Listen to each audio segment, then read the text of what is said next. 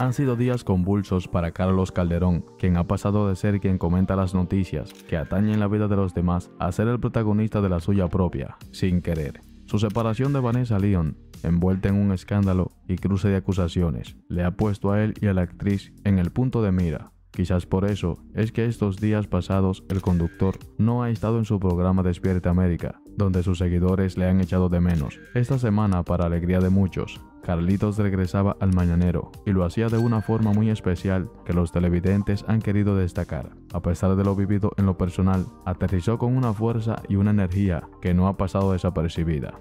Desde la mesa de la farándula, sin rollo, el presentador mexicano opinó sobre los temas del día con todo el ímpetu y entrega de siempre, dejando fuera del plato la tristeza y preocupación que puede estar generándole la situación personal que vive. Muchos de los seguidores del programa agradecieron verle de nuevo y así se lo dejaron saber. No puedes faltar, Carlitos, eres indispensable. Me dio gusto ver a Carlos de regreso. Escribieron felices de tenerle en el show. También hubo quien le recriminó y criticó el supuesto comportamiento con Vanessa tras su separación, un asunto que está en manos de los abogados y que él no ha vuelto a mencionar públicamente. Carlos se limitó a escribir un único comunicado en sus redes diciendo que no iba a hablar de la madre de su hijo León, y así ha sido desde entonces. Un comportamiento que nada tiene que ver con el de Vanessa, quien por el contrario no ha ocultado cuál es su situación de escasez económica desde su separación y lo que está haciendo para remediarla.